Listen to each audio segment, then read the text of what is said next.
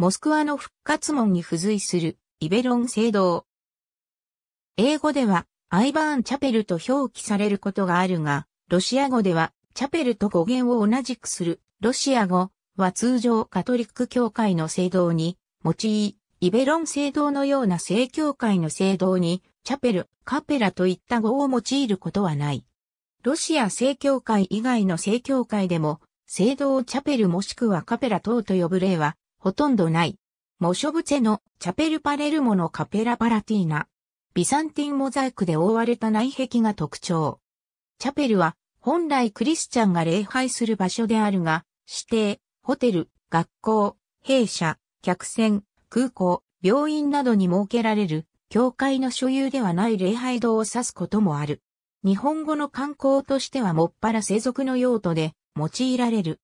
日本ではキリスト教主義学校の学校礼拝施設として、あるいはホテル併設の結婚式用街道として建てられる例が多い。世俗の施設の場合は教会に属さない。イングランドとウェールズでチャペルは国教会に属さないプロテスタント教会を指す語である。また、スコットランドとアイルランドではローマカトリック教会がチャペルと呼ばれる。なお上記は、西方教会及び結婚式用街道に当てはまる語義説明であり、東方教会においては聖堂に対してチャペルの故障はあまり用いられない。チャペルという語の由来は、トゥールのマルティヌスの故事にちなんでいる。マルティヌスは兵役についていた時に自分の街灯を半分に切って貧しい者に与えた。その夜、夢にイエス・キリストが現れ、目覚めると半分に切ったはずの街灯は元通りになっていた。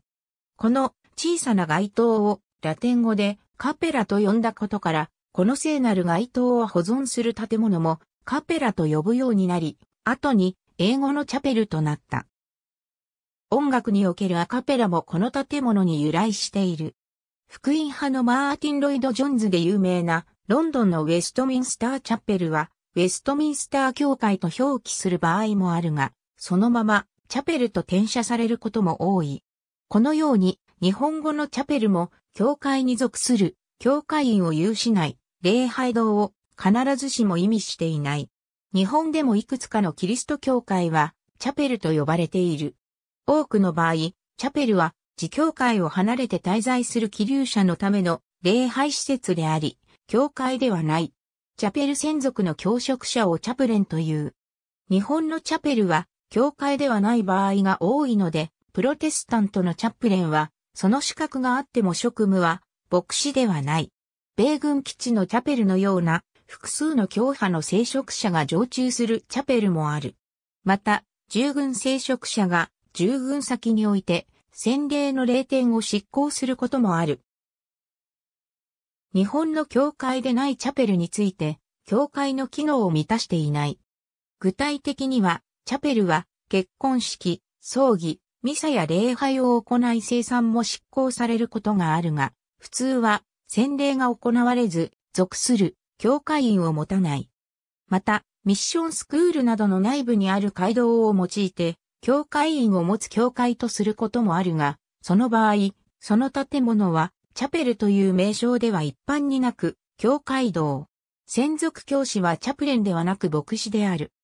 八王子市内にあるウェディングチャペルキリスト教の信徒ではない者が気軽にキリスト教式の結婚式の雰囲気で結婚するための施設としてキリスト教の聖堂に似せた建造物が建設されることがある。これらの建造物を指し示す名詞としてウェディングチャペル、結婚式教会などと称する。こうした施設の多くはチャペルを名乗っているが、中には司教座聖堂をも意味する大聖堂を偽証するものも存在する。なお、これらの施設は日本国に限らず、グアムやハワイにも多数建設されているが、いずれも宗教法人ではなく、信徒も存在しない。聖職者もいないことが多いが、多くの場合、ブライダル宣教団などの伝道団体による派遣や地域の教会の牧師がアルバイトとして招かれる。こうした施設を運営する業者は自社の施設をブライダルゲストハウスなどと呼んでいる。ありがとうございます。